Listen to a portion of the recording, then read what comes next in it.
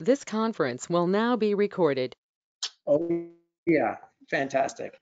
And so we've got about an hour. We're going to go through some of the house rules that we have here at the Cheese Shop is um, plate, put your bread at 12 o'clock. Um, these are the plates that we're eating tonight, Rachel, with our pairings. Oh, they're going to be so good. Yeah, and um, put the bread at 12 o'clock. We're going to go around clockwise. And Rachel's going to guide us through the whole experience. So along with uh, her expertise, there's also guidance from some of the some videos from cheese makers um, and videos uh, from the, well, you know, I don't even know. I haven't seen them. So Yeah, you haven't. I kept it a secret. this is going to be amazing for me. Uh, so you'll see my reactions too. Um, but stay with us. We're going to go through um, uh, all five cheeses, talk about the producers, the source, things like that, and then we'll taste them based off of Rachel's recommendation. Um, and then we've got some pairings on the plate. Feel free to eat the bread now. Uh, the olives, uh, th this is a fresh baguette uh, from Easy Tiger. Some of you may have gotten mini toast. Um, some uh, we just mix it up sometimes.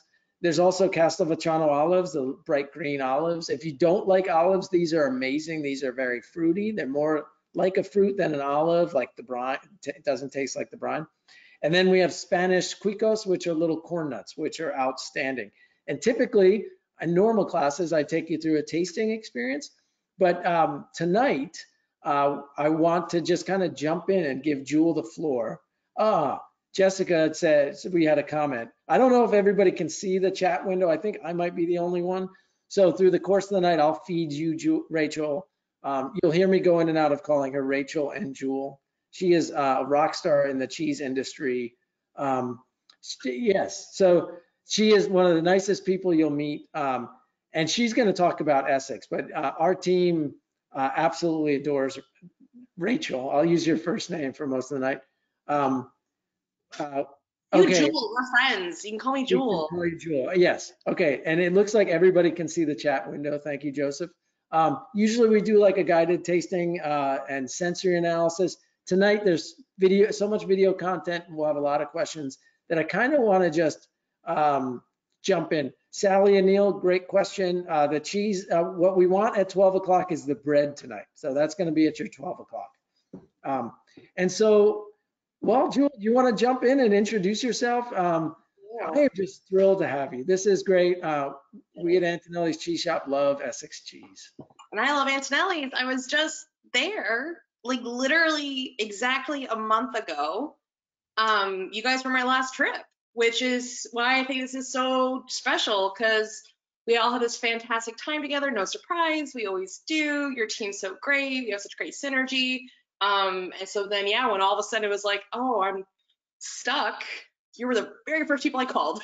so I'm really excited about tonight. Um, so a little background, many of you may be familiar with our cheeses because Antonelli's, as they've been in business for 10 years, have sold our cheeses since day one, um, particularly the Comte, which is included tonight.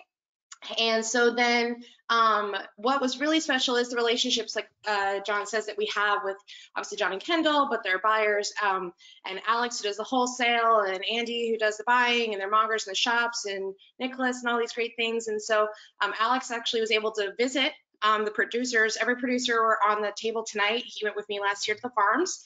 So my job with Essex, we're small company, importers, and my job is education.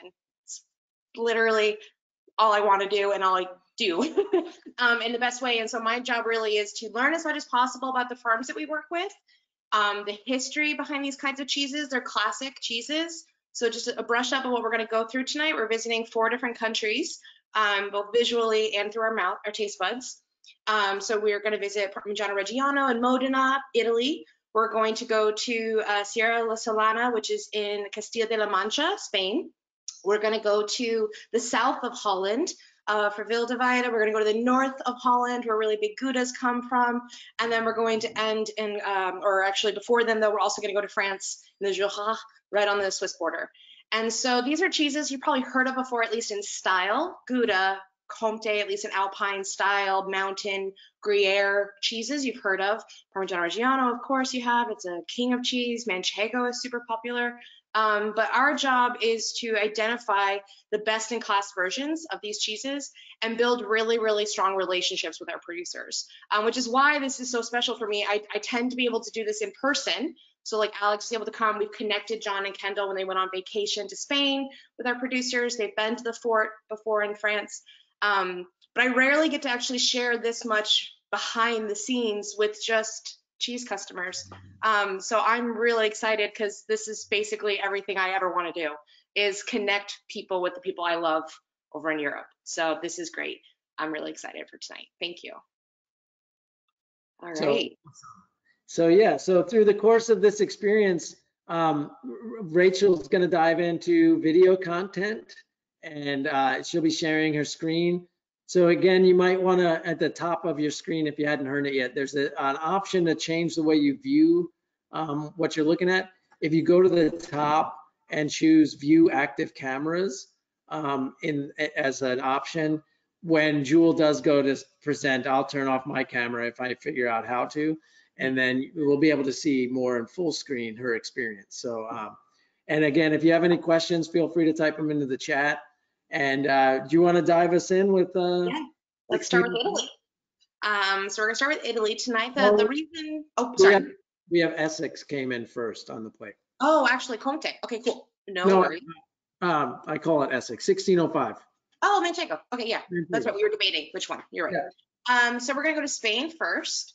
Um, and so to kind of give you an idea of what we're going to do tonight, like uh, John said, this was two weeks ago. We had this idea, and so I've been scrambling for the last 10 days to get our farmers to who are on small locations. They don't have marketing teams um, to pull together all this special content for you tonight. So I'm really, really happy about it too because they've worked really hard. They were so eager to share this with you. So in particular, um, each video that we have is basically going to share with you behind the scenes of the producers. Um, some of it will have dialogue. Spain does not have any dialogue because our cheesemaker, Maria Jose, is very nervous about her English and didn't want to. Um, she was too humble. So it's beautiful though and incredibly peaceful and I think kind of the perfect way to set us and transport us away to somewhere really beautiful. Um, so for those, before I get into the video, for those who haven't had manchego before, it's a Spanish sheep's milk cheese. This one is raw milk because it's made in the very traditional way. The rind is edible, so if you want to eat that, I strongly encourage it. It's very mild and very almost like popcorny in flavor. Really, really delicious and adds a great dimension to the cheese. Um, and it's 100% sheep's milk, and uh, we do a lot of selection with the flavors, but I'm gonna now just dive in and let you see this beautiful place. It is farmstead, so they have all their own feed they grow for the animals. So we'll start, that's what you'll see first. Um, then you'll see the animals, they own their own sheep. They use that milk to make their cheese. You'll see part of the cheese production process, and then they age the cheese themselves and take care of it all by hand um, with a really small team of like five people. So this is really exciting to be able to Yeah, see. and as a little caveat, y'all, these folks went out and they filmed most of this video content in the last, I don't know, five days. And so if it's a little choppy or if it, if you don't hear something quite right, um, definitely uh, we'll at at the end once the video is over, if you type into chat, we can make some adjustments for you. We can provide some feedback, answer some questions. Is what I'm trying to say. All right, you got it, Juhl. Great. All right, try this share screen. Oops, sorry. We did this test run it's still always a little, always a little interesting. First one, and then we'll get it all after that. There we go. There we go. And I threw off. So the cheese that we'll be tasting is the big triangle. Um, the, uh, some customers, the cheese got jostled in the car. Um, so this, it has this, uh, if you can see this sort of tire track looking pattern on the rind. So that's what we'll be tasting. Are we good? Yes, Can you see my screen? sure can. Great. I will hit play.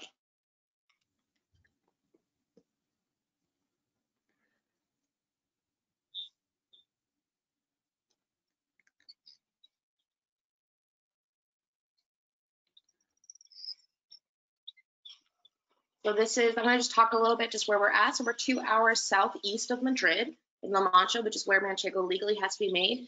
This farm in particular is really special. They have all their own land to graze and also grow the food for their animals. So this is also almond trees, um, which right now would actually be about to bloom um, in the next couple weeks. Um, and they actually, the almonds that fall to the ground, the sheep graze in addition to fresh, dry grasses and herbs.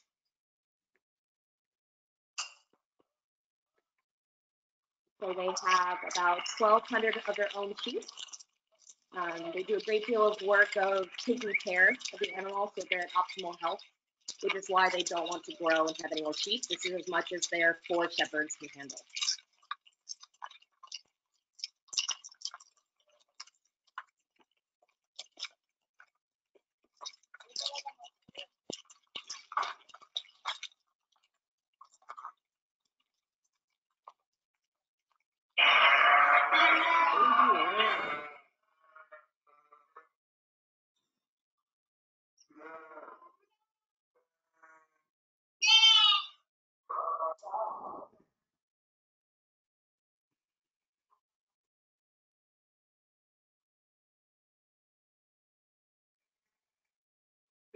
This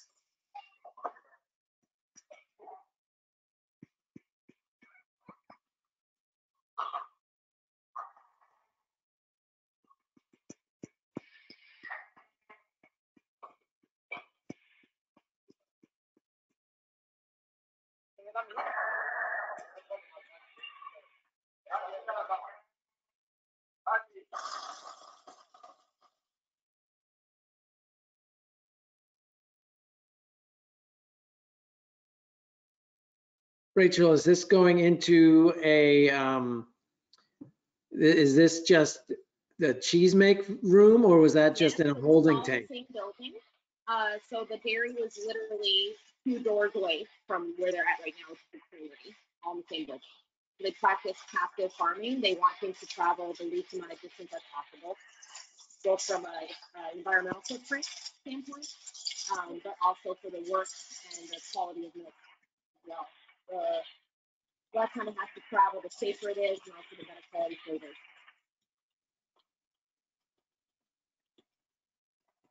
You see here, the cheeses are made, the curd has been cut, and now this is what we call cooking. So you're cooking up the curds. They do it by hand. Um, larger Manchego producers do this all by machine. It's much faster. However, you trap a lot of fluid in the cheese when you do it with machines, and that's why you get textures. Um, by doing it by hand this way, they're able to get out as much as possible and get a finer texture.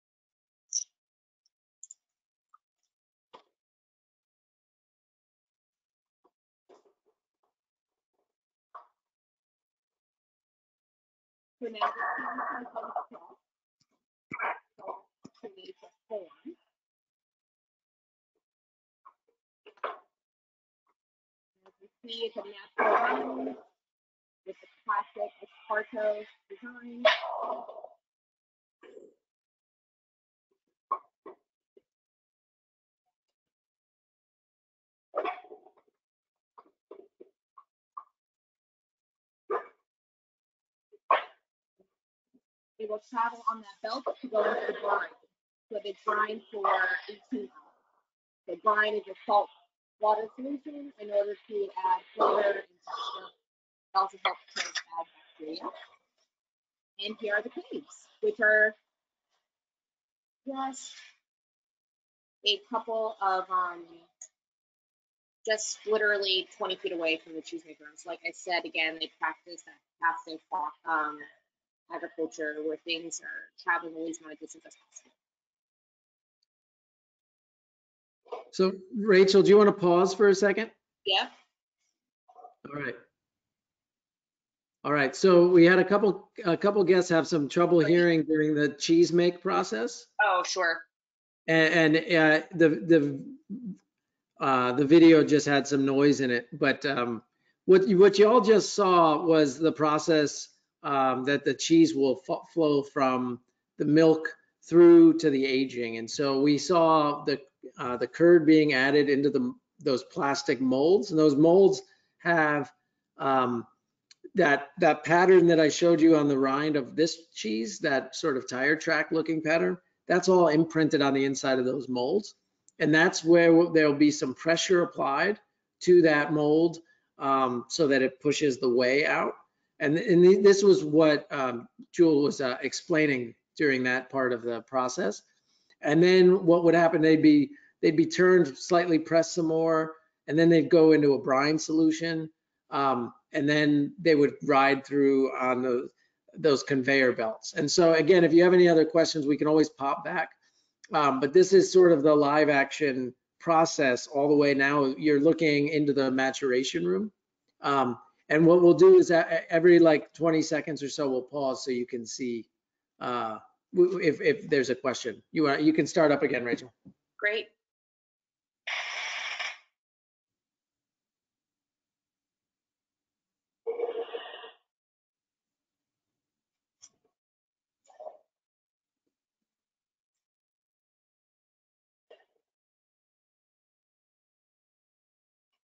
Rachel, why is it called 1605?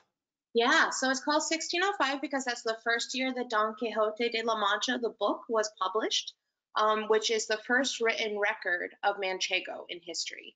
And so for them, this creamery, um, the farm itself has been around since 1878. And through all that time, they were making various kinds of Spanish cheese, including Manchego, but really had gone very industrial because of the dictator Franco um, until 2002. And so 2002, they were bought by a new owner who wanted to go back to making traditional manchego because there was only one left. The rest were all very large factories. So he knew that the first record was in this book, and he asked himself the question, what would that cheese have been that Don Quixote uh, gave to his lady lover in order to try to woo her? And so it would have been raw milk because Louis Pasteur was not alive yet in 1600s. It would have had a natural rind because we weren't coating anything until we started doing trade in the 1800s on chips and needed to make sure to protect cheese. Uh, you would have had your own feed because you have farms and things um, and you're already growing oats and barley. So you would just feed that to your animals. Uh, you'd have your own animals, so that's a given. And you also would use your own rennet from your lambs. And so for them, that was important because none of those things are written in the rules for the Manchego cheese, the Manchego PDO, Protected Designation of Origin. So that's why they use the name 1605 on their brand to give homage to where they found their recipe. Awesome. Thank you. You, you want to finish the video up?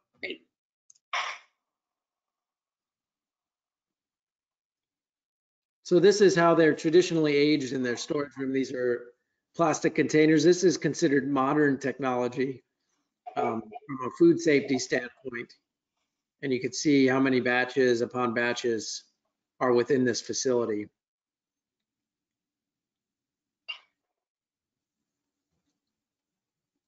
And that, that greenish co coating is a mold. It's wonderful.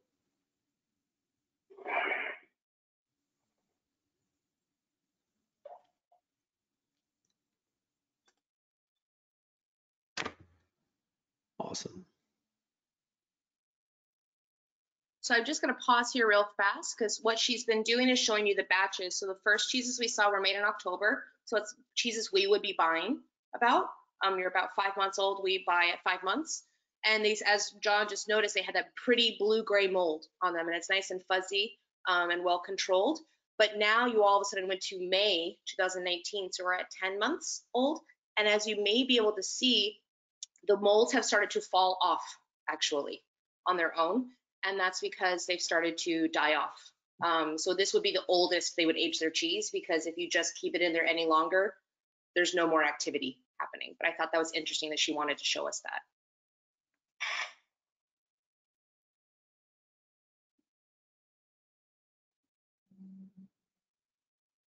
I would not have noticed that if you hadn't pointed it out. That's cool.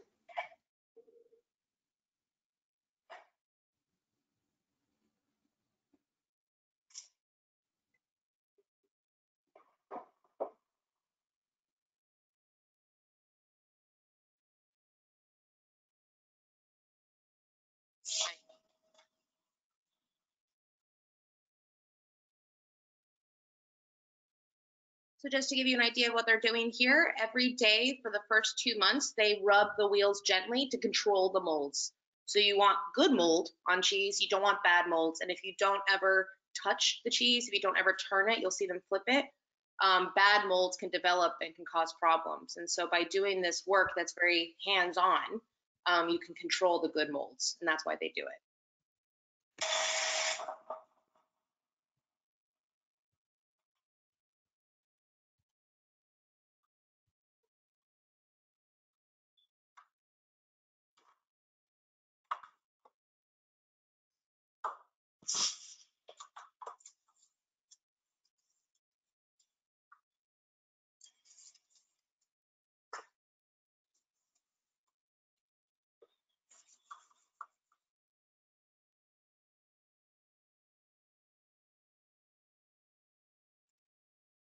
Nice, that looks awesome. So if you want to turn your camera back on, Rachel, and I'll do mine. So now we can eat the cheese. If you haven't already eaten it, Rachel, you want to walk them through? I've already been nibbling. I broke my own rule. Sure, bad student, it's okay. Yeah, Um, it's dinner time. So yeah, so the cheese, as I said, it's raw milk, it's natural rinded. What we're going for in the flavor profile, so this is the part where our job steps in as an as a selector. Um, we buy it at around six months, um, or it lands United States at around six months, I should say, because there's five weeks of transport. And so what we're trying to get is flavors that are showing the natural food they give to their animals. So we don't want it to be really piquant. Uh, we don't want it to be very aggressive. There's a lot of manchegos out there that are that way. And instead, what we want is to show the wonderful work that you saw the shepherds doing. They make sure to graze them and give them a balanced diet. The amount of hands-on work these cheesemakers are doing, nothing's automated. We want to highlight that work as opposed to going for the strongest flavor possible. So what we tend to find, particularly for Antonelli's cheese, so we do a secondary triage just for Antonelli's, is we're looking for flavors that do stand out, um, not too subtle, um, but we look for great savory kind of lamb flavors without being what we use the word bilic. Bilic being like bile, um, which can happen in sh- raw sheep's milk if you don't control it. So what we're going for is great, like think like, I think lamb stew, think great balanced, savory, sweet, meaty notes with nice hints of aromatic spice. So like cardamom, any uh, an- anise seed, things that you would put into a brown sauce. It's tasting really good right now. That's a, good, a really good piece of cheese. Um, and you can eat the rind if you want. You can try the rind. It has uh, some of that uh, mold still in there, so you'll get some of that uh, intensity on the palate, but it is delicious overall. And tonight we paired it with um, a quince paste, a cutting preserve from um, Girl Meets Dirt in Washington. It's uh, just a young lady that left the professional world to live and get her hands dirty, uh, get her hands in the dirt. And uh, so she sources all local to Washington State um, organic fruit to make these. And it just, Membrillo and Manchego grew up together. Um, they are a popular combination. And so this is a little Washington State flavor profile for you. So awesome. Yeah, so I saw some stuff about age on here in the chat. Um, so like I said, ours is six, and in the cave you did see up to a year, but like I mentioned, that the molds actually start dying. They have a life cycle like any bacteria does.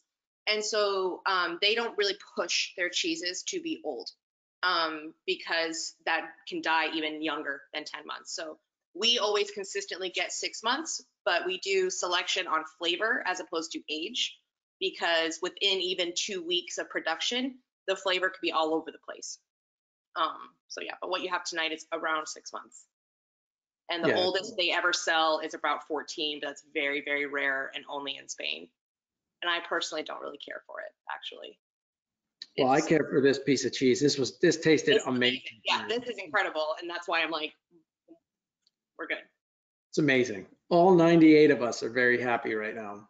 Good. I, um, awesome. You want to uh, want to dive into Giorgio, Let's go to Italy, which our man in Italy? our man in Italy. He is um so just a little background on him. We've worked with Giorgio Cravero since 2008. Uh, his family, though, you'll learn about. They've been in the business for a long time. Um, and what's very fortunate about the situation right now is that he actually lives next door to his caves. So filming this was very simple for him.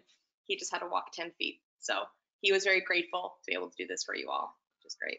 And those of you that have been on um, some of the cheese tastings previously, I, I always mention I got to go to Bra, Italy for the largest uh, cheese festival in the world, uh, slow food cheese. And the, his aging facility is in that town, walk, walking distance from that festival. It's pretty amazing. All right, so as Rachel, you get us set up. If you'll turn off your camera again this time, it gets allows us to see full screen, which is great. Okay, so microphone on and I'm ready to share screen. Yeah, we can hear you. Great. And you can see the screen? Oh, there he is. Yeah. Great, here we go. And this should hopefully be less noisy. So he's just a cave, he's not a producer, so there shouldn't be um, mechanical sounds in the background. Hello there. It's lunchtime and we are in Bra in Piemonte, in the northwest of Italy. My name is Giorgio Cravero and uh, I'm leading you to a virtual tour of our caves where we mature the so-called king of cheese, the Parmigiano Reggiano.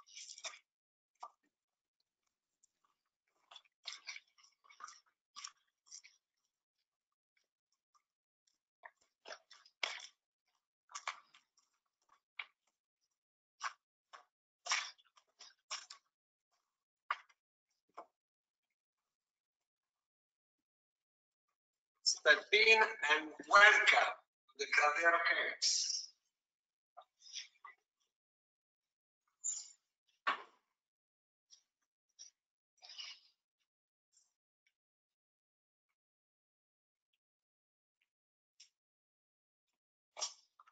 My family is involved in the uh, selection and in the maturation of the Parmigiano Reggiano cheeses since 1855 the fact that we are involved in the selection and in the maturation of the cheeses explains something uh, crucial as preliminary uh, things to know that we don't make the cheese, we don't produce the cheese. The Parmigiano Reggiano cheeses uh, are uh, produced uh, in a, a region of uh, uh, northern Italy called Emilia Romagna, uh, specific, specifically in five provinces, which are the provinces of Parma, Reggio Emilia, Mantova, Modena, and Bologna.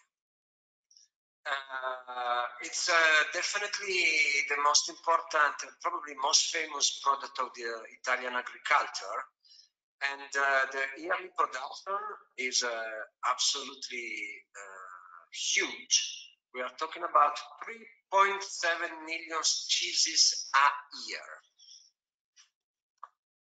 Um, my job uh, includes two different professions.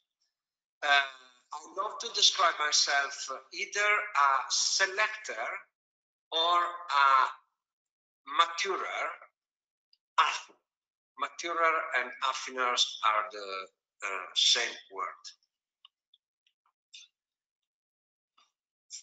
The selection of the cheeses happens at the age of 12 months uh, for the Cravero business in two different farms one is located in uh, uh, the Modena mountainside, Modena province mountainside, and the other one is located in the Reggio Emilia hills. We select our cheeses at the age of uh, 12 months, mainly, but uh, a concept uh, that for our business is crucial. We select our cheese by terroir. So we identify two different places around the production area where the uh, uh, the soil, uh, the grass, the specific flora of these two different areas, the absence of pollution, uh, the uh, small dimension and artisanal uh, dimension of the dairies, the cheesemaker skill um, let us um, uh, choosing our cheeses in uh, these two places that we consider the best. The selection happened at the, the age of 12 months. Uh, that means that uh, for the first year of their life, the cheeses spend their uh, their life uh, uh, at the uh, dairy's facility. When the cheeses are 12 months old, we move them from the dairy's facilities to ours, where we are right now in Bra. Uh, in this cave, we have rooms for 5,000 wheels. It's uh, really a small place, but uh, everything is um, checked and regularly. I'm talking about uh, the second part of my business, being an affineur. We need to check uh, the humidity, the temperature, uh, the cleanness, of course, of the case, depending on season and time of the year, outside temperature, inside humidity, and so on. every two weeks, uh, we need to turn uh, uh, each cheese to ensure an even maturation of the texture. Every single step during the uh, time of our uh, uh, affinage in these rooms is every single step is uh, uh, organized to reach the final goal, which is uh, when the cheeses are 24 uh, months, we need to have uh, an uh, guarantee and uh, moreover, a sweetness, a fruitiness of the taste which are our goals and our obsession, I love to say. Um, something else I would like to show you uh, that it's truly important. Uh, it's uh, somewhere else, so we need to move to a different part of the of, of our facility. Please come with me.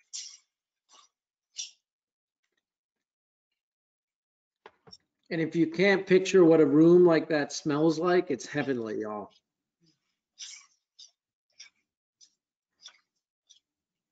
Yeah, the best description I have for what it smells like is just perfectly cooked butter um, on a grilled cheese sandwich.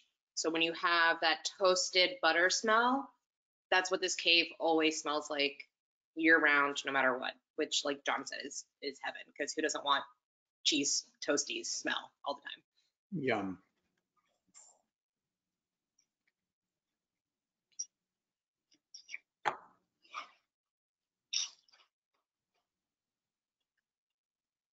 I also love it's his 18 year old son doing the filming because he's trying to go to film school actually. Uh, so we pulled him in to practice for this project. I forgot to tell you something interesting. Why I'm wearing this coat? because uh, it's quite cold right now. Uh, we have around 10 degrees Celsius and uh, 70% uh, of humidity.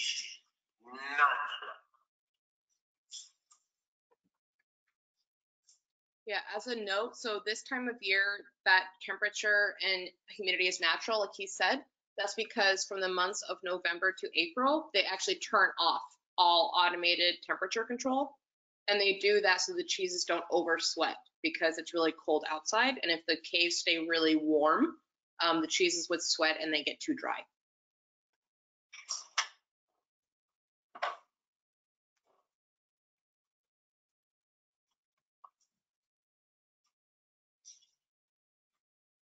Our business was founded by my great great grandfather on 1855 here in Bra by this man,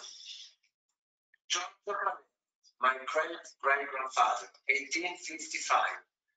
Then Giorgio uh, uh, left the company to Giacomo, my great grandfather, to Giorgio, my grandfather, to Giacomo, my dad, to me. I'm the fifth generation uh,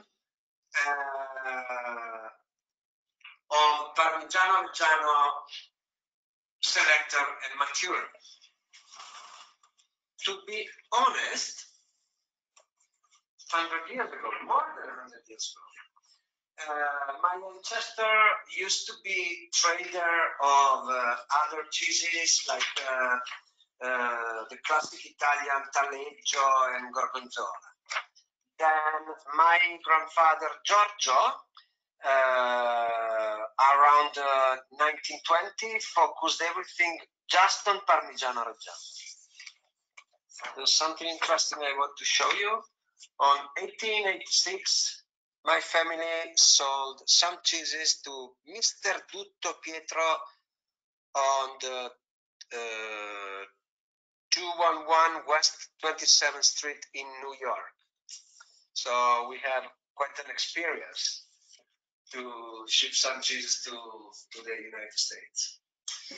So, guys, uh, uh, thanks very much for watching and uh, I look forward to seeing you all in uh, the United States soon. Uh, best wishes. Ciao, ciao.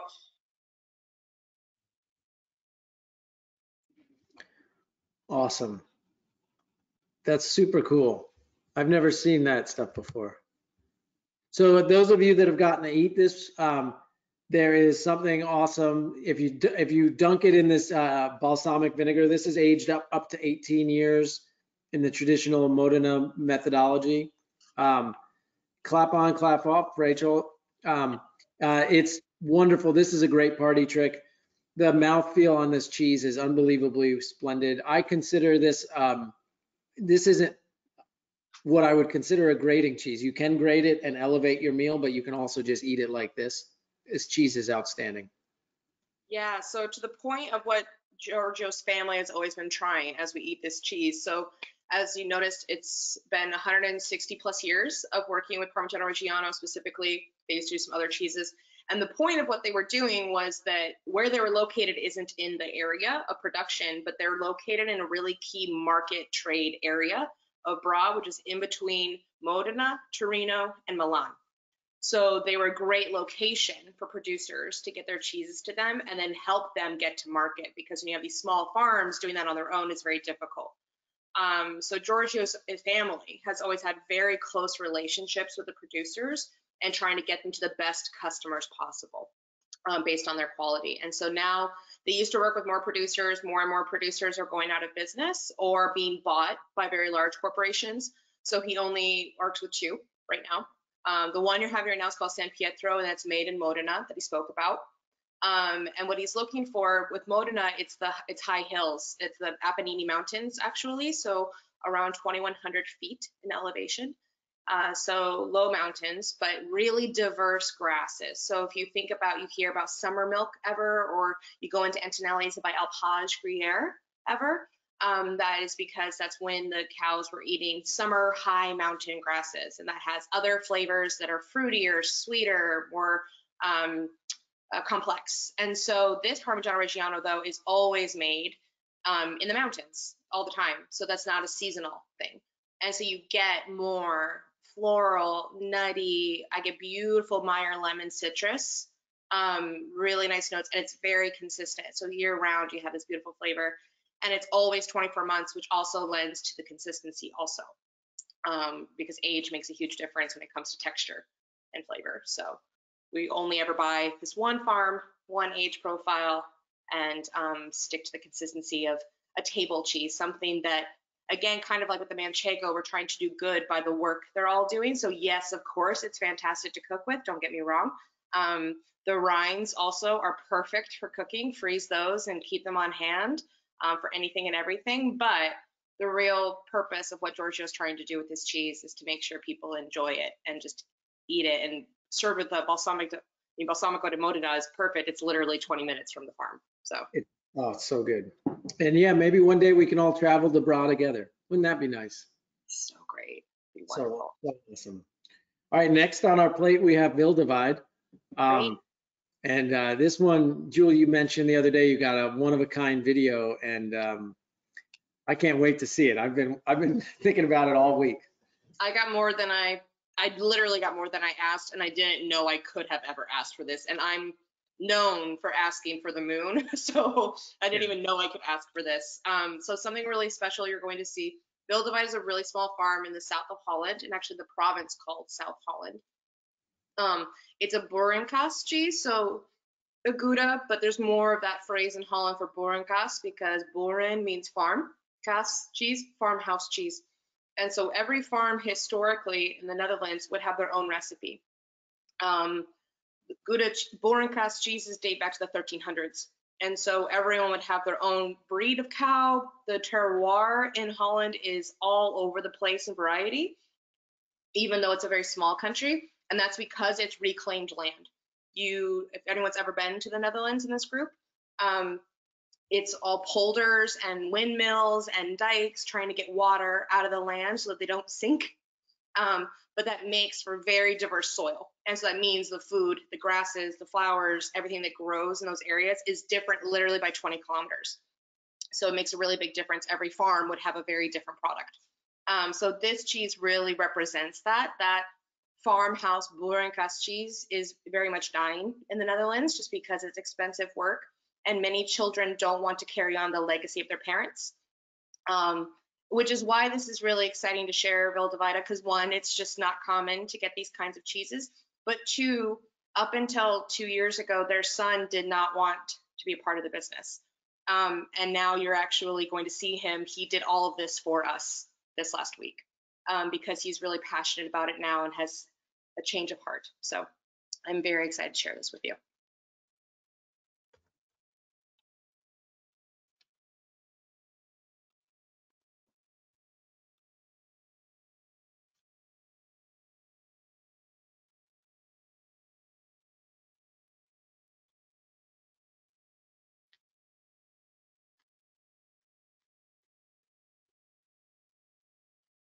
Okay, can you see my screen?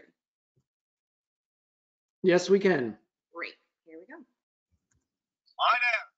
I'm Jan van I'm the fifth generation of my family farming on this place, an island in the Netherlands between Amsterdam and The Hague. We are making cheese here for generations without uh, pasteur- uh, pasteurizing. We use the raw milk straight from the cow and we use this for making the cheese. My family has been doing this for all the generations when my father came here in 1960, when he started here, he stopped with making cheese twice a day. He started making cheese once a day. And also we changed things. We started with organic farming in 2000, and since then we are making a, a good business of it. And now we are waiting for our son. He's going on with it, and he will change some things. But I'm very happy that. Uh, our family farm can move on.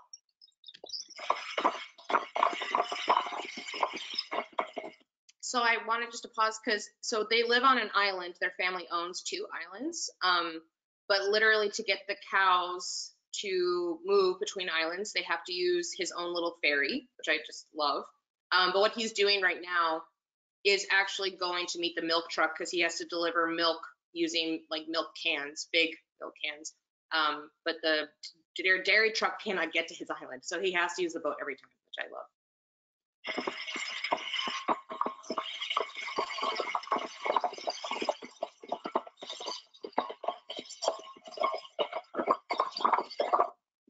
Hello, my name is Joost. I'm the sixth generation farmer on this island.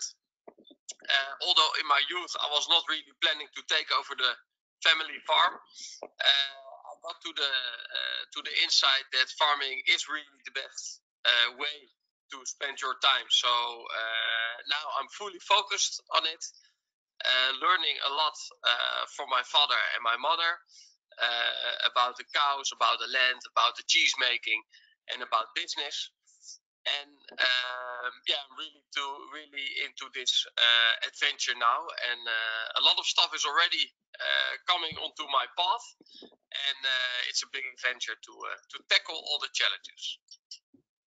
Hi everyone, I'm now going to tell you something about the most important inhabitants inhabitants of our farm of our island, and of course we're talking here about the cows. There they are, 50 ladies. And uh, about 20 years ago, my parents were traveling in France, in the Jura, and they came across these cows. And my mother said, Oh, Jan, these are very beautiful cows. What, what, what type of breed is it? And my father said, Yeah, these are the famous Montbéliarde cows. It's a very strong and robust uh, uh, breed and they provide very good milk.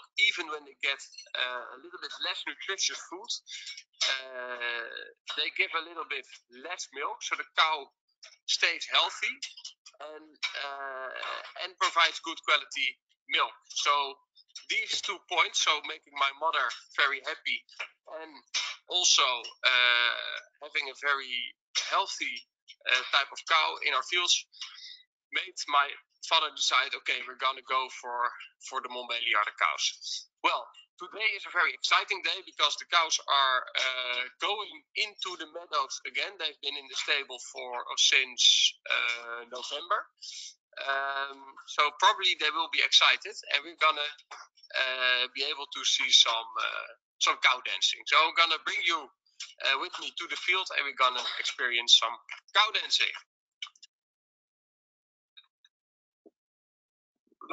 Look at. Woo! Look at that.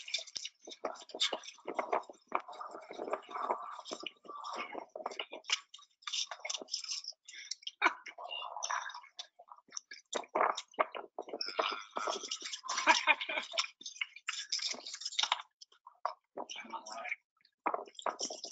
There they go.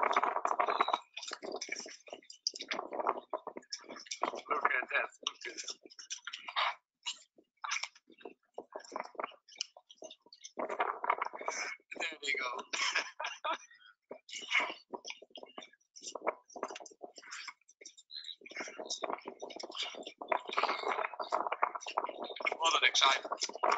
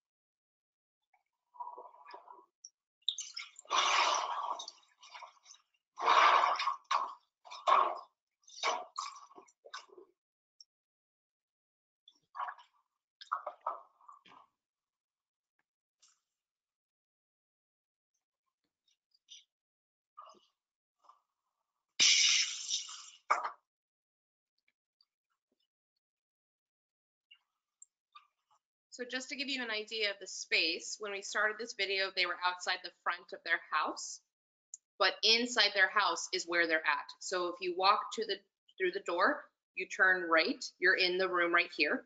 If you walk to the left, so if you're looking at this camera and you see the tiled floor in the background, their kitchen is to the left, um, and the cheese caves are to the right, and their bedrooms are upstairs, and the cows are just 30 feet away outside. So truly a farmhouse made cheese.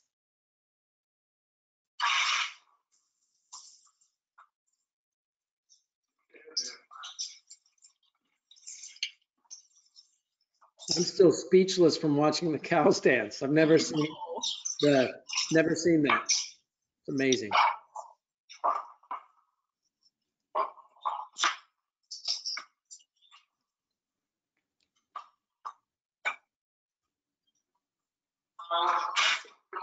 So the the beginning the the for getting out the of the cheese. Too much weight on it. Now we mark. It says Gouda farmhouse cheese made with uh, raw milk, not pasteurized, and it's a guaranteed traditional chef.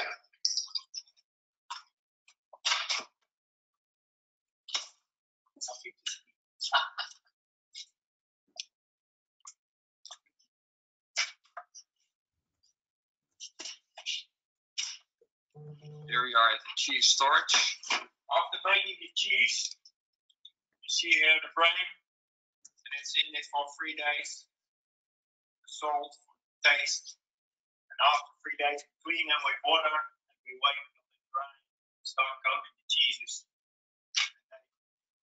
Stay here for about three weeks, turning them every day. And after three days, he goes, they go to the wholesaler care of the cheeses for almost a year before they go to the US.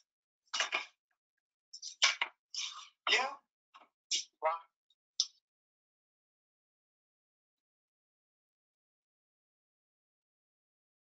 It's awesome.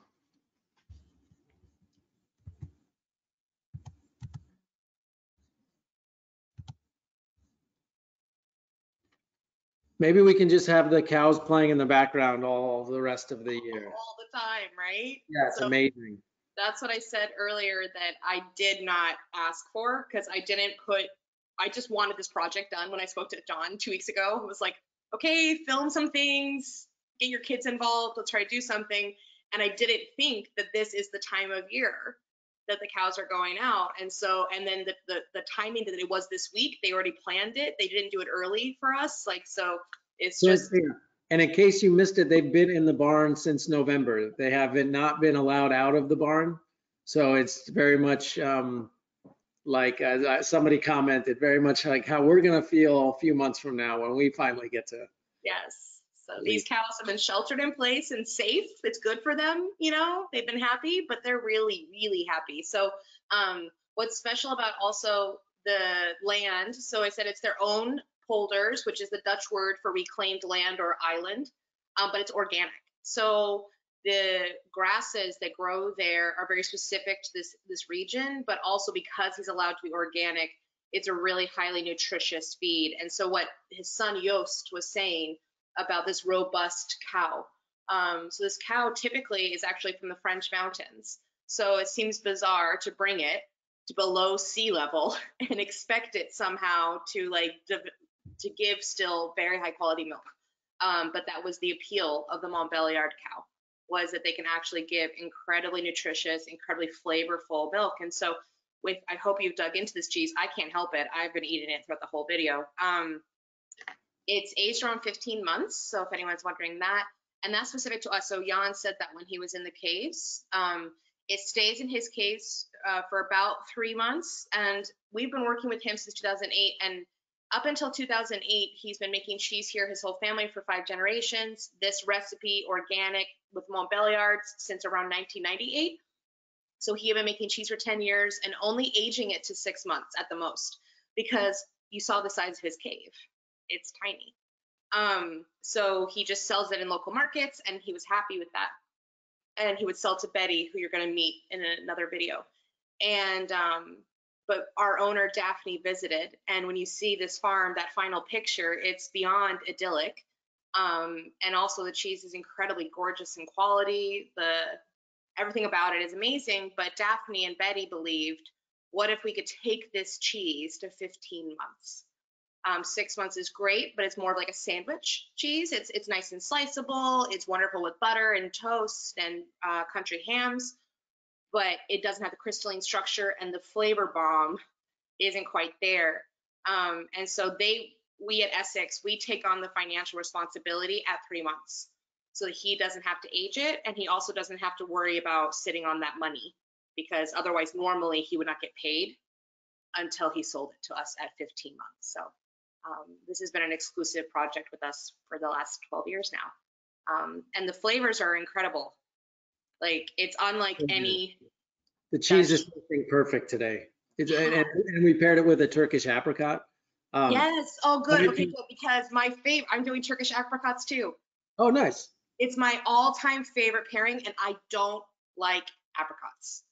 Hmm. But with this Wildeweider, especially if you can throw in a raw unsalted almond, put them all together, it's literally like a pina colada. Like there's this bizarre pineapple coconutty thing that happens. It's super boozy because of the raw milk. Like you've got this raw intensity of flavor.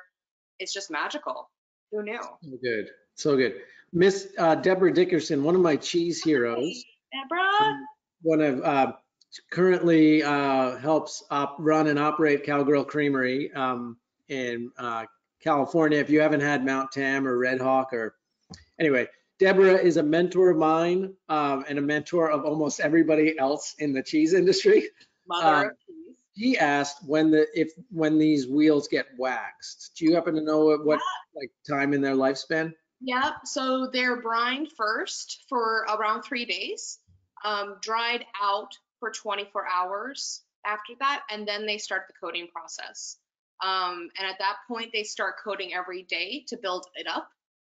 Um, and then they start weaning back on it. It's about like a, I want to say like a three week process. First week every day, and then it starts going every other day or so. And his wife is the one who does the coating and That's it's a natural it's a natural so you can't eat it but it's um a food safe natural coating many goudas in holland use what's a paraffin so like if anyone's gotten their pedicures and you get a paraffin wax pedicure um that's actually what's used on a lot of goudas because it holds in moisture great um but they choose something that's more natural because it allows some moisture to actually escape and you don't get off flavors then it's also organic approved then. Awesome. Thank you. And thanks to everybody who have Cowgirl Creamery in their fridge right now. That's awesome.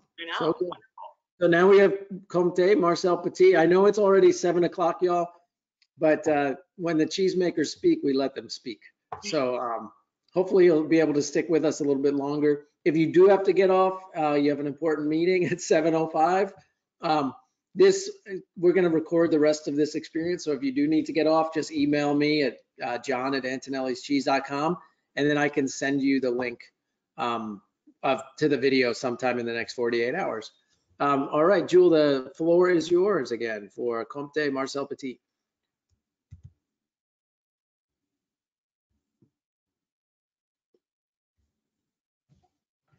Right you can see my screen Yes, and as, uh, yes, we can.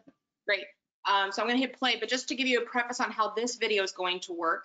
Uh, so Comte is a cow's milk cheese um, from France on the Swiss border, but a, um, we're not visiting a producer. We're visiting the caves where it's aged because that's where our work steps in. And it's a truly special experience of what you're going to see. In fact, um, the selection process, it's all in French. I did add subtitles. I apologize if they're not super clear to see. So I am going to actively pause this one much more to translate kind of what's happening in each stage. Um, but to give you an idea of what we do, um, the cheese is brought to these caves when they're three weeks old.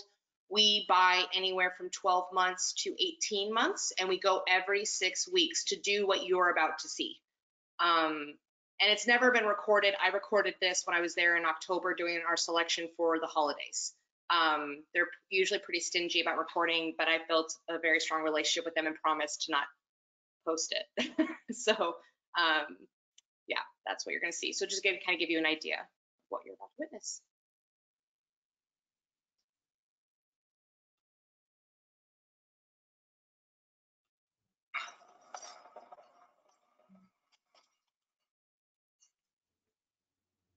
So we're driving up the mountain to get to this fort. This fort is built into the side of the mountain. It was used during the Napoleonic War um, as boot camp.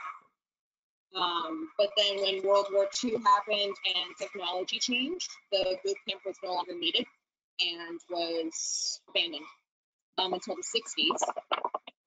And then it started to be used for cheese. So the region is called Jura. It comes from the Roman word for forest. And as you can tell, it's incredibly deciduous in all the trees.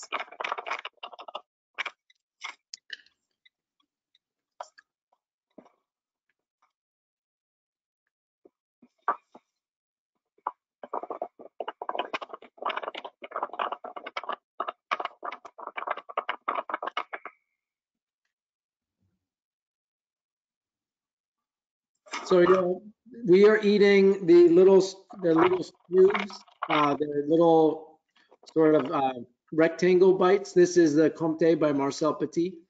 Um, and we're pairing that with an apple and onion jam from American Spoon in Michigan. It is, I, I just have to say to preface this experience that this is the one of the two cheeses that made me fall in love with cheese for the first time. Not just any Comté, but Marcel Petit Comté.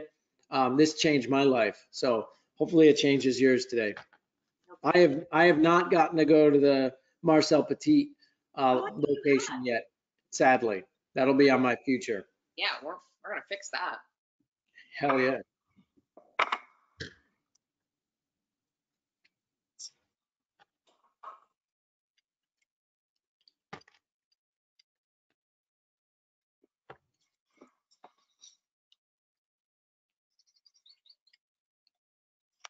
And this this piece of cheese, Juhl, is extra brothy right now. Oh, fantastic. So yeah, well, um, as you see, what he's talking about extra brothy, um, you're, so what you're gonna see, Marcel Petit Comte ages in these caves. So that door is the door underneath to go underground. Um, and that's the entire structure that you see from the outside. And they age over 100,000 wheels of cheese. They're 80 pound wheels, so they're massive. In this fort, you're gonna meet Jose, who's the gentleman we work with directly. Um, but there's only six to seven men who take care of all those cheeses by tasting them and match, I call them matchmakers. So basically what we do every six weeks for the last, I can do math, 14 years, um, is go and they help us find our Essex cheese. So um, we'll talk more about the flavor profile later, but you're going to see why it matters what we do, that we don't just let them do it all for us.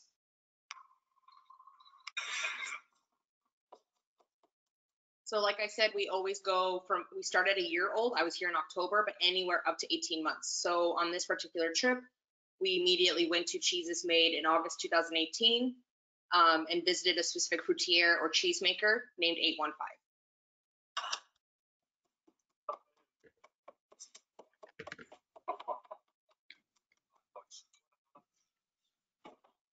So what he's doing there, he's listening for cracks in the cheese. By banging on the side of a cheese like that, they do that in Parmigiano Reggiano as well. They can hear cracks or air holes, which is pretty amazing.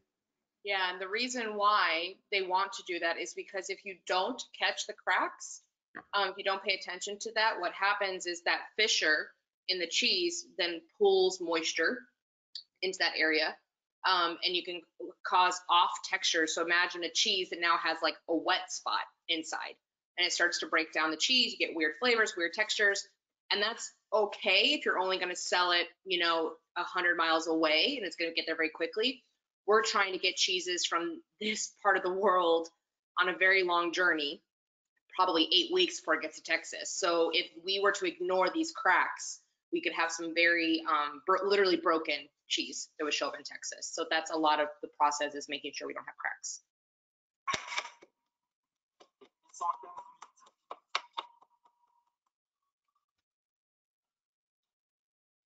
On va directement dans ton profil. Hein. Je ne cherche pas rester euh, dans les 815 qu'on a déjà fait.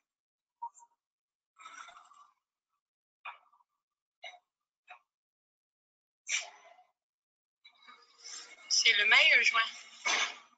Août. En Essex,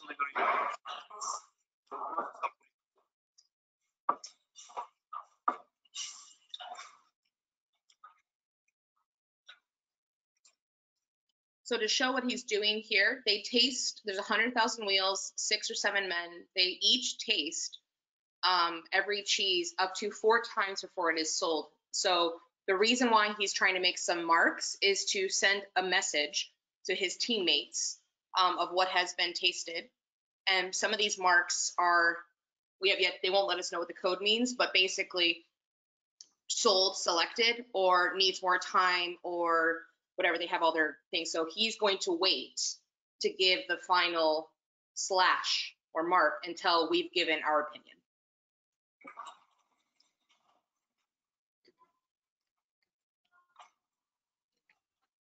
He looks so confident. Yeah. Mm-hmm. So I'm with our owner, Jason Hinds, who does the selection every six weeks. He's saying caramel, caramel, caramel. The team is like, oh yeah, it has basically the notes we're typically looking for. And then I like to throw a wrench in. Salty caramel, sweet, long flavor. Fromage qui va pas, qui va pas bouger. Un modèle. Oui. Non, je- je- la noix, le caramel. Bien sûr, elle est salée, c'est très très bien. Mais euh, dans le passé, je pense la première chose que j'ai goût chaque fois, et je pense à Essex, comme il est ici, c'est le goût du euh, pain, un peu. C'est pas la farine. J'ai le caramel très très au. Je pense c'est très très bien, j'aime beaucoup, mais c'est pas équilibre avec l'autre chose.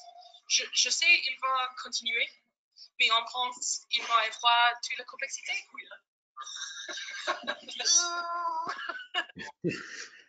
Basically. Whoops. I just told him I don't agree.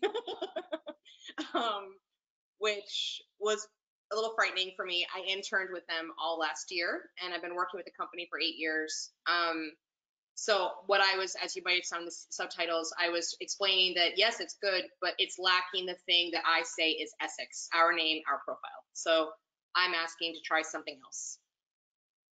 Faut pas que ça soit euh, trop dans la finesse, quelque chose d'un Oui, exactement, c'est plus direct. Et je voudrais avoir au début en plus de finesse et en grandir, rentrer comme on orchestre. orchestre. Je voudrais avoir un crescendo.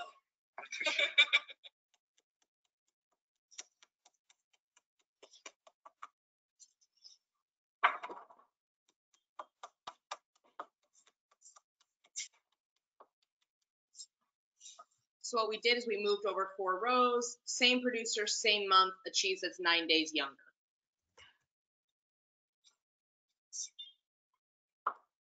Pour, avant de passer la consigne, c'est bien.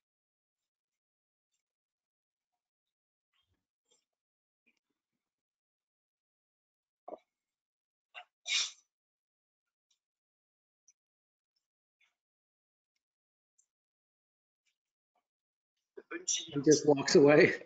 Je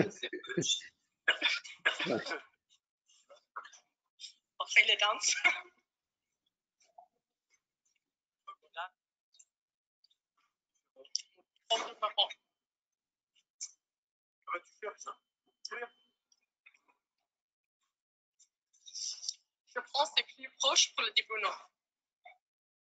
Avec leur. Comme ça.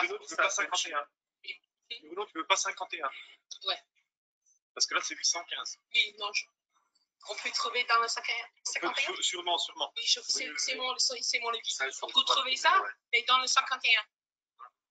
Mais pour Essex, non. Hein. Non, non. non. Euh, on va aller voir quand même. Basically, we found a cheese for another customer. It's just not Essex, and it's a customer we do selection for. 17 ans, 815. 17 ans. Oh.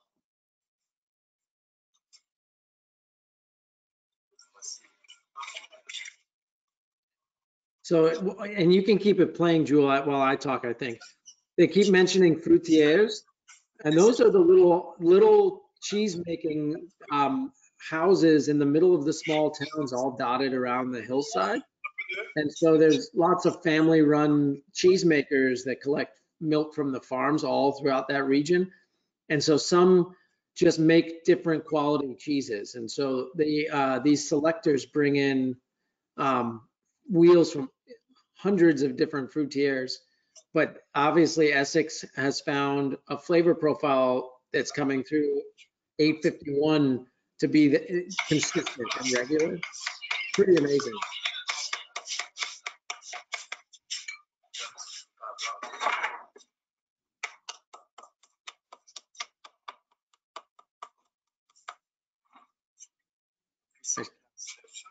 Fruitière 815, not 851. Yep, 815. So we have about four that we work with, but 815, like, just all, 90% of the time delivers. So we always start there. And we do that more because in case something happens with 815, we want to know the history of other fruitières so that we can quickly change. Because if we don't ever bother to try other ones and 815 goes south, it becomes a lot of work for us to try to find another producer quickly.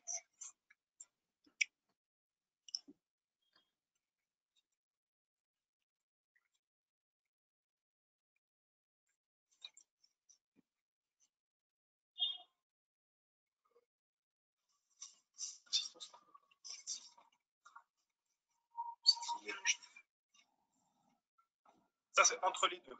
Oui, et j'aime ça. C'est pas- C'est au début, c'est le farine, c'est plus délicat, mais c'est il existe. C'est pas euh, comme, mais on, combien, on continue comme ça, ah oui, content, et It's awesome. Trying to lift a wheel of Comte is what got me my nickname Mike Tyson. And when I, in the eight caves in France, I couldn't quite lift that such a big wheel. I learned a lot about balance that day. It's aw- awkward. right? Yeah. I did that. I, I tried to help Mary Quicke's guys make cheddar one time and trying to flip 90 pound drums of cheddar that are in a 20 pound stainless steel drum. I tried once and got really big bruises and then I just let them do their job. Like, Awesome. So it looks like everybody loved that pairing. Um, my cheese is gone. So it seems like I have one, I, I, gave myself two so that I would have. So what you just saw is literally six minutes of a two hour long process to select every single order every six weeks. So we try 25 different cheeses on average. Um, and we do that to the point of what I said of, but also sometimes we know we're not going to buy, but it helps us have history and understanding of what's going on. It helps us build relationships and rapport. Um, so that was a tiny snippet, but the point is, is that we're looking for Essex. And so that first time where Jose says, oh yeah, like John said, he looks so confident. He's like, oh, first wheel, I got this. And even Jason, our owner is like, this is great. Yeah, like great. And yet I said, it is, but it's missing the identifier of Essex. So when John tastes this and I eat this, sure, it's very brothy, but the point I was saying, what I like to find consistently in our Comte is the floured crust of bread. So it's kind of this identifier. It's always going to be nutty. It's always going to be sweet and buttery and complex and brothy and like a thinker. But there's this moment where your mouth goes, I just had like ciabatta bread. And that's what I'm always looking for because you can taste that in that environment these other flavor notes, it's to give you an idea of what it's like in there, it's 90% humidity and around 50 degrees. It's 56. It's very cold, very wet, and the smell is not like parm. It smells like ammonia. It smells like like 409 up your nose. Um, So it's very difficult to get all these nuances we can now get, but the things we can get is texture and like that farine flour note. And so if we don't have that, we're usually not satisfied then with it. Um, so that's why we keep trying other things. Hell yeah. Lisa just asked if you actually call the cheese a thinker. I would say it's a sexy thinker, probably. It's a sexy dang cheese. But yeah, we um so our owner Jason, um the profiles as I mentioned earlier, we're working with cheeses you know. You know Gouda, you know Comte, you know Parmigiano Reggiano. We also work with Manchego and Feta. And so you know these cheeses and the variety can all be celebrated within these cheeses. But we're trying to find one profile because it's very difficult to sell maybe four versions of like the same cheese and have customers understand the difference. So the one that Jason likes to look for, the profile, is like a thinker, like one that stops you dead in your tracks and you're like, what you just put in my mouth? Like, I'm, and it, and it develops and the length is there, there's persistence without it being aggressive. So there's kind of that difference with that word persistent versus aggressive. We want length. And so, yeah, think about it. Awesome. All right, so on to our fifth and final, our Betty. At the very beginning of this video, um, she is standing outside, so it's a little difficult to hear. She's just letting us know. I got to see a, this very short snippet earlier, um, just letting us know that, that this is the town she was born in. Um, and she's showing you the outside of the facility.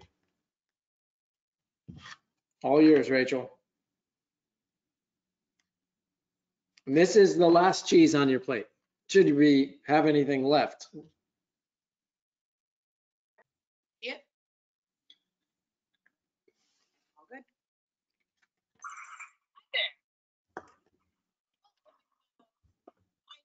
village, which is IJmuiden, the village where I've been born, and the village where La Musa has its main, its principal shop, as well as maturing So here we are Um, as you can see, we have a counter with lots and lots of cheeses, uh, about um, 450 kinds in total um, divided per family, cheese family as we call it. So a lot of foreign cheeses. And of course, a lot, a lot of Dutch cheeses. Um, all those cheeses are being, well, mostly being matured in premises in the south of the country uh, because this is a rather expensive area. But some of them we mature here because they're small quantities, small uh, producers, so we tend to keep them here at a certain temperature and certain humidity, which is our maturing rooms over here. If you can peep through the window, you can already have an, uh, an impression of it. Uh, we're going to enter the maturing rooms in a minute and I'll show you what we're doing there and how we maintain our cheeses. So just to give you an idea, so Betty is the woman, she owns this, this cheese shop plus another one in Amsterdam, about 20 minutes away. She ages cheese and she's the woman that helps us find people like Jan and Joost Anchy of Wilde Weide um, and other Dutch producers we work with. So she's our liaison um, to help find these small producers. She sells their cheeses in her shop. She ages some of them in her shop, um, and then she helps export it all and help us find the profile we want. So that's why you're seeing the shop and kind of the work that she does.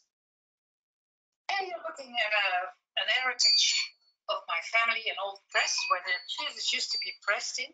And you can also see the vats where the cheeses used to be made in. In the old days, they were wooden vats but nowadays they're all uh, of plastic material because they, can, they can be easily cleaned. Um, this is the environment which our cheeses really feel good. So we have a temperature of 13.5 degrees Celsius. Um, due to the cheeses with a natural rind, because they suffer a lot if we bring the temperature up even higher. So the Riemeke or the, the Rongebak, they are all laying here with high humidity. And then you see the wheel, of course, a little bit of Brabander, but most of the wheels are being matured in the south of our country. Humidity high, temperature a little bit high, and then we turn the wheels um, now and then, depending on the age. When a wheel is quite young, we turn them like twice a week. And when they're getting older, it becomes once a week, once a month. And even the older wheels that have this signature, we just turn once every three weeks. Uh, cleaning, of course, cleaning. Cleaning the wooden shelves where the cheeses are laying on and cleaning um, the wheels as well. That's the biggest part of our maintenance of the cheeses. Now, the cheeses I want to talk to you about is the Wilde and the L'Amuse signature, which are our most famous cheeses. Wilde being made on an isle in a lake uh, all the cows are grazing. They just went out outside at this period because it's uh, springtime where they are fed with uh, green grass and lots and lots of flowers. Um, it's a raw milk organic cheese, and to me, it's one of the best cheeses our country produces. It's floral, it's herbal, it's easy to pair. Um, the, temp, the age where we deliver the cheeses to in the US is between 13 and 15 months old when the crystals are really there. And but it's easy, it's even velvety in structure. The lemon signature, of course, um, is a very easygoing cheese. Everyone loves it. It's I'll show you a wheel while Martin is filming the Wilde Weide close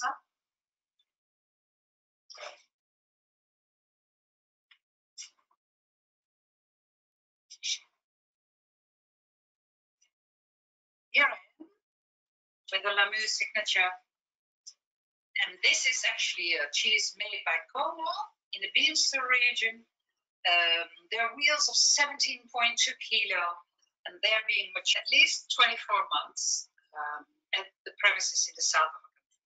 So here the temperature is between 14 and 15 degrees Celsius, but because the cheese has a coating, it maintains well at that temperature. Um, they have the crystals as well. It's a beautiful orange structure with a crispy uh, butterscotch texture and caramelized flavor, but not too caramelized because uh, that might be artificial. So it's a really clean cheese, which everyone really loves.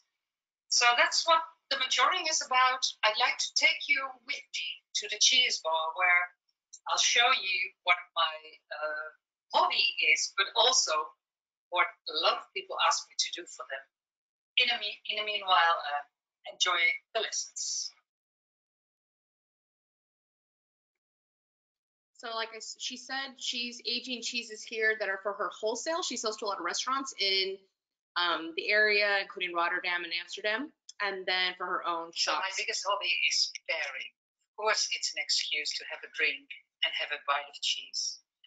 To pair those two cheeses is such a delight because they're easy to pair.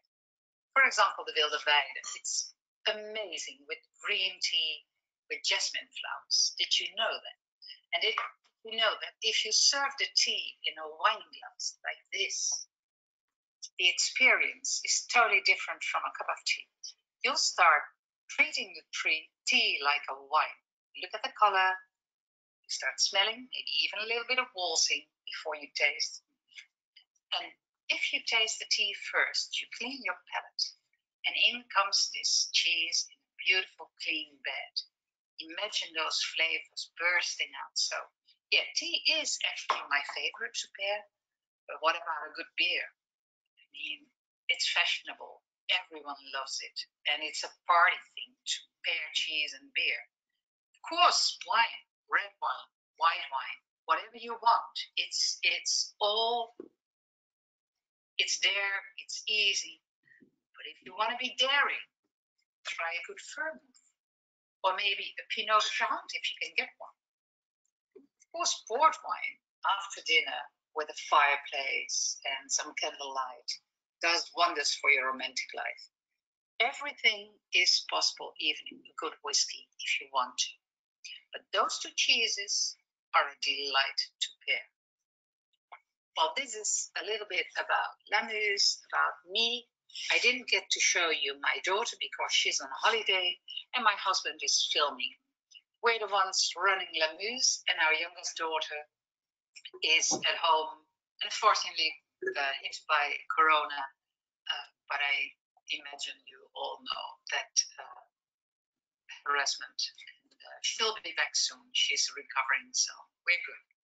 I hope you uh, enjoy the lessons and see you maybe one time in the Netherlands.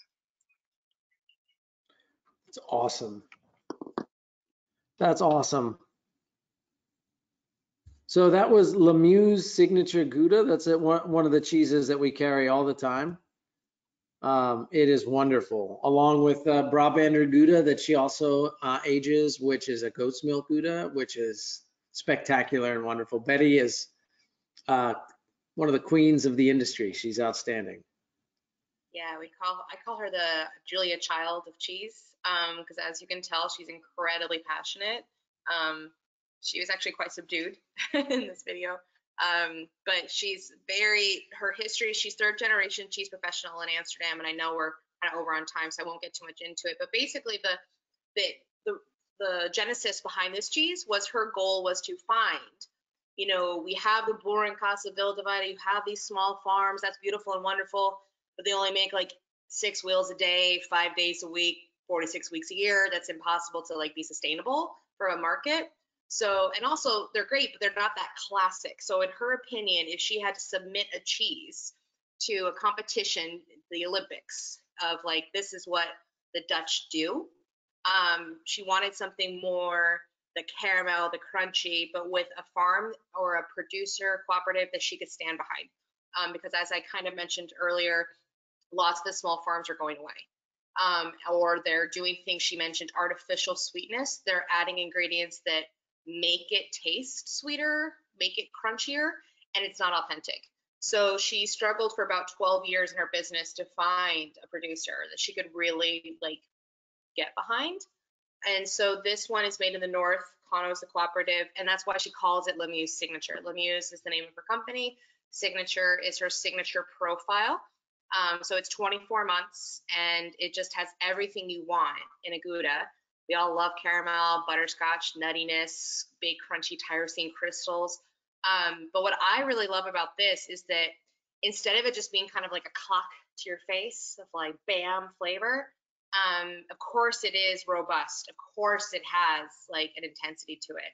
It holds up to all those spirits and wines and whiskey that she's talking about. But it really has great length and complexity. Like it's not just a one and done clock. It really actually gives. It has brothiness to it. It has real like say for lack of a better description I use, it's what like cheesy, salty, like dust of Cheeto or Cheez Its wants to taste like, right? Like that really savory, salty deliciousness. Um, it has all that as well. And it still has a toothsomeness to it. So yes, it's crunchy, but it's not so hard that it's actually like, oh, I only want two bites. Her goal, kind of like with Giorgio, is that this is something you keep going back to eat. So. It's amazing. Well, that was incredible. What an amazing experience. Thank you for starting this plan and coming up with it and getting them to do all the videos. I I am geeking out right now. I'm sure Kendall, once she's done babysitting the kids and making sure they don't run in here during the video, yeah. I'm sure she's going to watch this pretty much immediately. Um, uh, oh, uh, question just, uh, you know, well, I'll answer that question about brothiness in a minute, but I just want to thank you, Rachel. That was awesome. That was super yeah. fun. I think that uh, I will I will cherish this. This was cool. As far as a cheese being a cheese geek goes, I learned a ton tonight uh, just sitting and watching. So thank you. I thank I'm you. grateful. Yeah, thank hashtag dancing cows. Call you on a Friday night at like five o'clock and be like, "Hey, you're not busy right now. Let's talk." well, it was awesome, and and it seems like everybody had a really great time. I would say vote for your favoriteest cheese. Uh, I don't know how I would go. I had five favorites. Um, uh, this was just spectacular and so much fun. Um, if you have any questions, I'll hang around for a minute or two. Um, I'll let Rachel take off and go relax. And um, but I'll I'll turn off the video part, uh, recording here. And y'all, this was just. Ooh, what wine am I drinking? Yeah. It's this is gonna be like my shameless plug. Okay. So, yeah, go. I, do you want me to? Do you want me to turn off the recording first? And it's fine. Yeah, go ahead. thanks for joining us tonight, y'all. Thanks for being supporters of these great cheese makers. Um, but the wine I'm drinking, it's actually from Aldi of all places, because I live in Virginia and don't have in kind of the suburbs and don't have a lot of great options. It's a rosé from Oregon.